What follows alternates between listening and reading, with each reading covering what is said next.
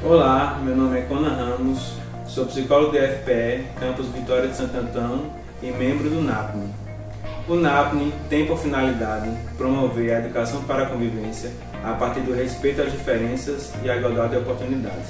Atualmente nós temos aqui no campus estudantes com transtorno do espectro autista, TDAH e pessoas com deficiência auditiva. Nós fazemos intervenções com esses alunos, tendo por base a inclusão e a permanência na escola. É importante ressaltar que o NAPNE é um instrumento essencial para a consolidação dos objetivos institucionais de promoção de uma educação integral e inclusiva.